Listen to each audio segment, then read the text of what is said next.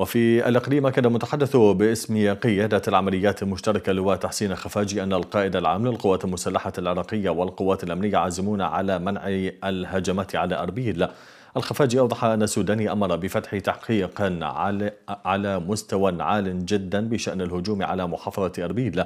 ولافتا إلى أن هذه الأعمال ستكون محط اهتمام للقوات الأمنية. ولافتا إلى أن التحقيق سوف يكون مقدما لعمل القوات الأمنية وسوف يتم تقديم المنفذين إلى العدالة. وشدد على أن القائد العام والقوات الأمنية عازمون على منع مثل هذه الأحداث مبينا أن هكذا ممارسات تجعل العراق من الدول التي لا يمكن أن تجذب رؤوس الأموال. وأضاف أن الدول المتقدمة لا تستطيع أن توقف الإرهاب الذي لا دين له ويمكن أن يحدث في أي مكان.